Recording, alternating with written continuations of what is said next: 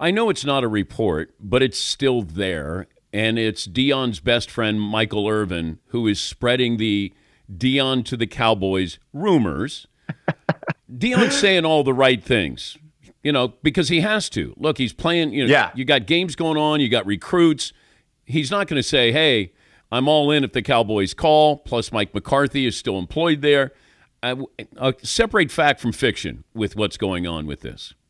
So I just think this is the first take fever dream, right? This is this is Stephen A. Smith just wish casting the greatest thing that could ever happen to him. Because think about the two topics that guarantee conflict, that guarantee eyeballs, the Cowboys and Deion Sanders. Like it is it is the wet dream of anyone who hosts a sports debate show. And I think that's where this is coming from. I don't think that's going to happen.